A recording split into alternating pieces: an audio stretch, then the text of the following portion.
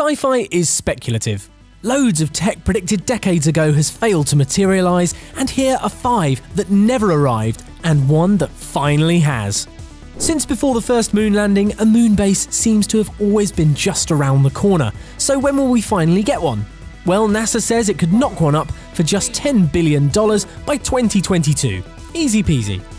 Commercial spaceflight has long been considered so common in the near future, it's just like taking a regular plane. So where's our boarding card for Mars? Well, Virgin Galactic are selling seats to space today, but tickets are $250,000 up front with no time of departure. A staple of sci fi since 1877, teleporters have been a long time materialising. German scientists did sort of create one in 2015, but it would slice you up layer by layer before sending a scan of your shrieking corpse to a 3D printer. Bionic abilities are the dream of every 1970s child, and nobody embodied them at the time better than the $6 million man. Today, powerful prosthetic limbs are surprisingly close, with AI and nanotechnology further paving the way for transhumanism, or tech blended super people.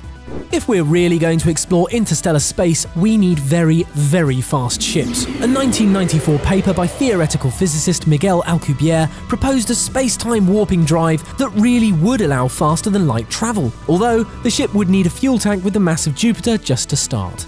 Wireless power transfer on the small scale may be very old, but zero lag control devices that work via an energy field have been unthinkable. Until now! The 2017 wizardry of the PowerPlay wireless charging solution mean it's now a reality. You can see the future for yourself at logitechg.com.